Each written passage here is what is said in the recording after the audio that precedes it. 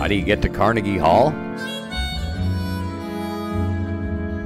Even after you practice, practice, practice, it's still a long shot. You have to be among the best at what you do.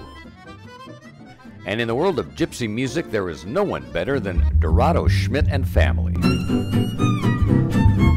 And here they are, playing the music Django Reinhardt made famous, though today no one is more influential in the gypsy music world than Dorado Schmitt.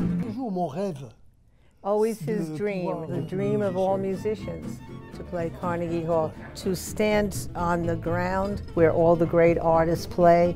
But this is even more special. At age 57, he's slowing down a bit, and he plans to let his sons Samson and Amati take over the band.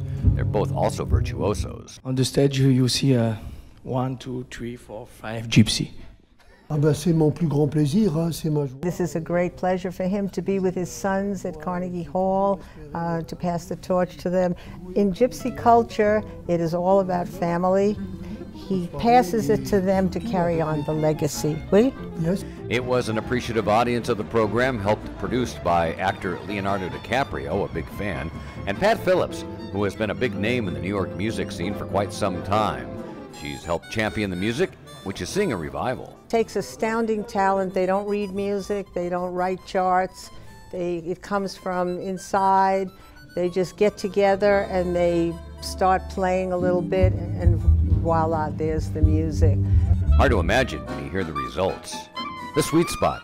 I'm Mike Sugerman, WCBS News Radio 880.